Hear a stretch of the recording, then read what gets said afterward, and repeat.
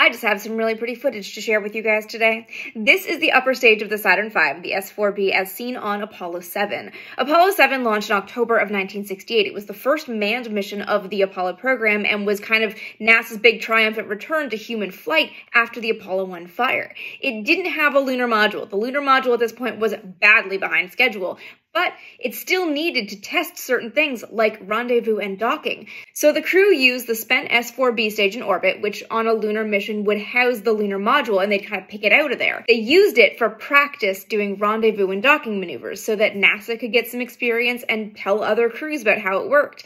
And I just think this is really cool footage. We don't have a view like this from any other mission. This giant S-4B just kind of like popping around, going close, floating over there. It's pretty neat. Apollo 7 gets no love because it didn't go to the moon. It wasn't one of the big ones, but it's a very cool mission.